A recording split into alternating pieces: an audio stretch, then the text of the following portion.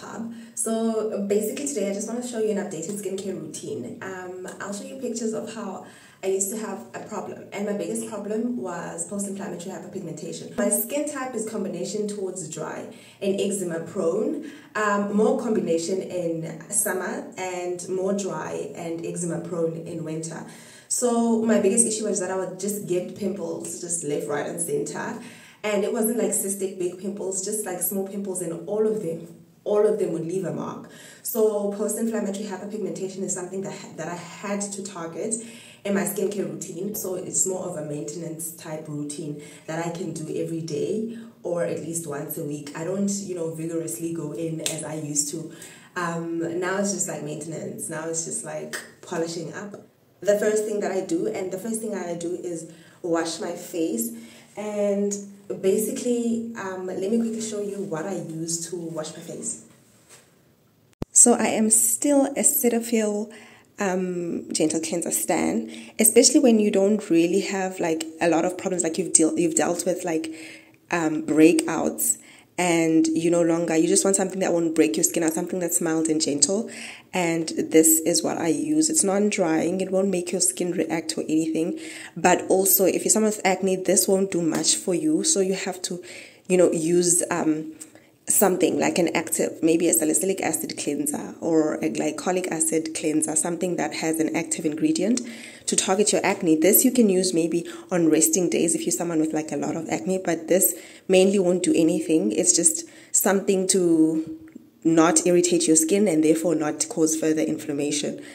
So yeah, let me quickly wash my face. The first thing to do always is to wash your hands before you do anything because the germs on your hands can get transferred on your face and basically bacteria can accumulate and result in you getting acne or further, you know, drive that whole chain of you having acne. So let me just quickly wash my hands, let me dry them. Okay, then I'll just start with a cleanser. Okay.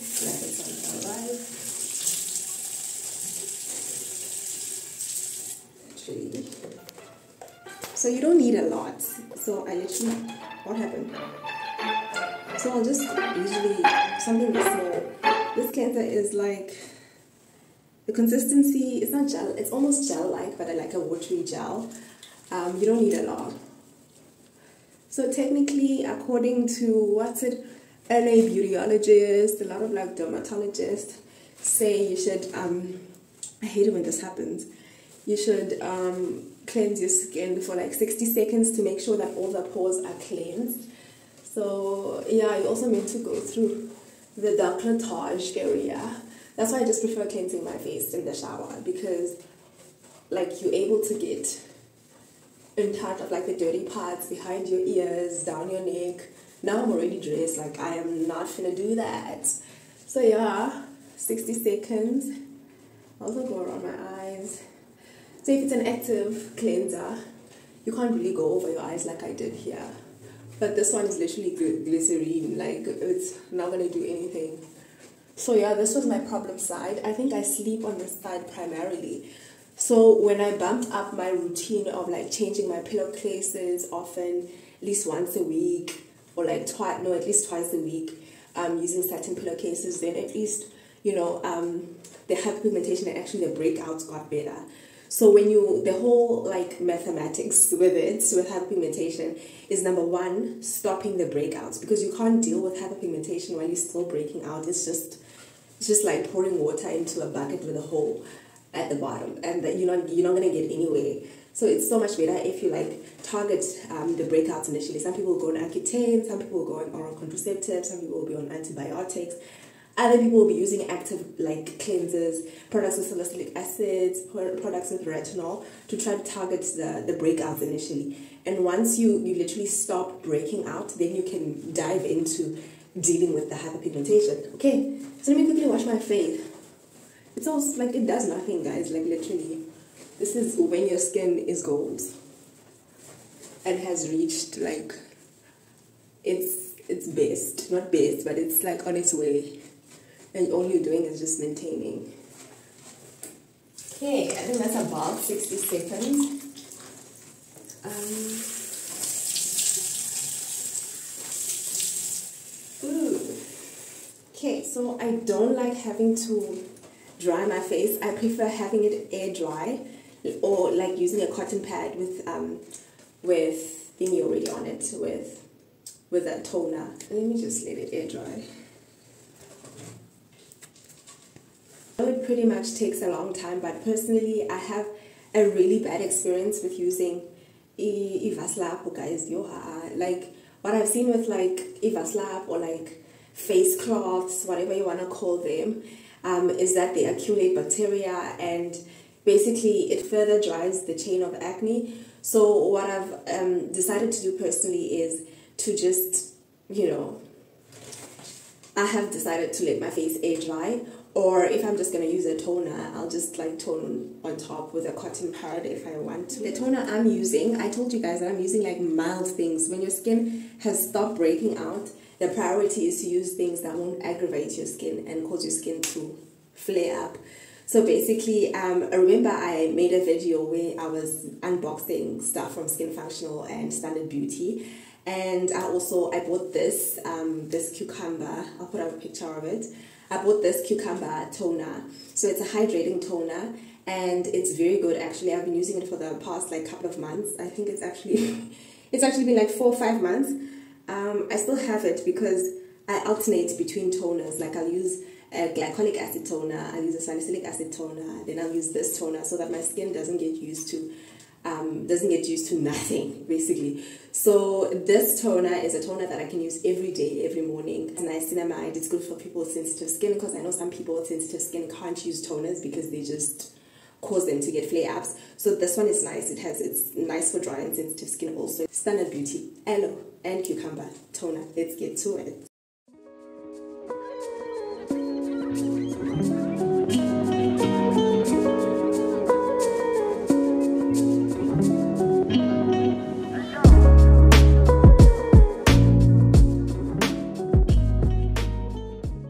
So basically my mainstay, um, what's it, serums that I have been using, um, outside of the niacinamide um, one, which also assists excellently when it comes to hyperpigmentation. Ones that have assisted me greatly when it comes to um, when it comes to hyperpigmentation has been this antioxidant complex firmer.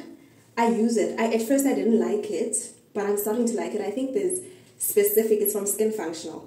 So I think there's specific, um, there's specific moisturizers that don't go with this. And the standard beauty one that I figured out actually is the only one that works with this one made me start using this more. So vitamin C is very good and it's bright, it's a brightening agent. It's it assists greatly when it comes to hyperpigmentation and this is an ascorbic acid and in 3% ferulic acid from Skin Functional. I've also been using that dark mark management 2% alpha arbutin um, serum. Basically both are from Skin Functional. So yeah, I've been alternating between the two, um, but my mainstay has always been that ordinary one. So I, I think tonight I'll use, let me use the Alpha Arbutin. I actually love this one. I don't know. ah, it's almost finished. I didn't think that I would take um, liking and appreciate the Alpha Arbutin, but it really worked for my skin. So basically, you can't have you can't let the pipette touch your skin. Some people don't like to drop it. I prefer dropping it, even though I don't allow it to touch my skin. Um, I don't know. I just I just prefer dropping it. Think that was a lot. I think you only you only need like three drops. I do six.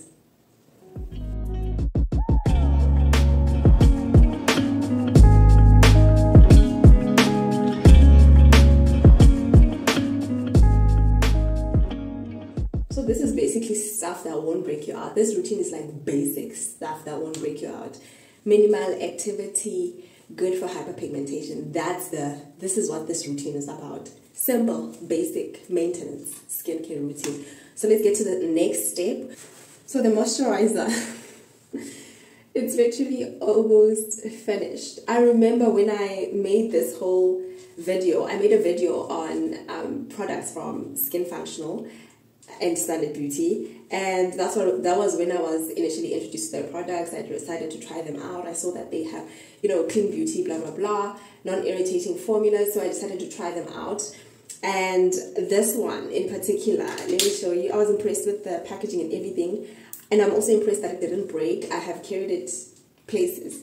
It's been at the bottom of my bag. It's been literally everywhere. And it never broke. Never lost the lid. Lid securely fits on. You don't lose the lid. Um, the lid doesn't break. It's good plastic. So anyways, there this this moisturizer is called a moisture bomb. I used it a lot, especially in summer, um, because this this is minimal. It's like silky, luxurious feel. It's ultra like lightweight. It won't make you shiny or glossy or whatever. I don't know how it would make like someone with oily oily skin feel like, but personally for me it was perfect. Like I, don't want something that's matte and like annoyingly drying. So this was particularly perfect for me in summer, hence why I used all of it. I did not like the smell initially, but but I eventually got used. To this moisturizer is particularly good. It has um, squalene, it has cucumber extracts, which are anti-inflammatories and have anti-inflammatory properties. So basically, this goes the one. So yeah, I think I think I'm definitely gonna buy this one again. I don't know. I was worried that I was gonna react to it because it smelled bad, as if it had stuff in it that was bad. But I don't know what specifically has that strong smell. Maybe it's this silky Penchia powder, silky Penchia powder. I don't know. I'll look it up. Silky Penchia powder. But yeah, I never reacted to it. It's good. I use a lot of it. I love it. I, I don't have any complaints. No complaints at all. And it was cheap. It was like 150 or something. Or 170 at most. Ah, but it still has, has my, it still has that smell. So basically that would be my nighttime routine. That's what I've been using recently. Like I don't want anything that's gonna irritate my skin. I love what it is now. So um, there's no need for me to do the most in, terms of like actives. I use a retinol like once a week or like that glycolic acid toner maybe twice a week or once a week like I don't use actives as much. Um, so the goal right now is literally just brightening um, preventing further inflammation. Um, the goal also is to just also prevent further breakouts. So that is where I am with my skin right now. It's been a journey I've been trying and um, all of this basically is trial and error. Like you don't know how your skin is gonna react to anything um, so you have to try something, especially you know there's research with regard to ingredients that will will work for your skin type. So once you figure out your skin type, sort of use that as a guide when it comes to picking products. Um, that are going to work for your skin. And if you are interested in any of my skincare videos, like acne type videos, I even have a playlist on skincare. I'll try to drop more videos like similar to this or like things to avoid when it comes to having your own skincare routine. So yeah, um, I hope you enjoyed this video. If you have any questions, make sure you just drop them in that comment section below. Um, if you like more skincare videos, let it go know so that I can continue making them um, and basically, you know, continue focusing on more skincare related type videos or content. I'll try drop one every like month um, just so as to keep everyone up to date and educated when it comes to things of skincare. So yeah, um, I will catch you on my next video. Make sure you like, you comment, subscribe, you share. Okay.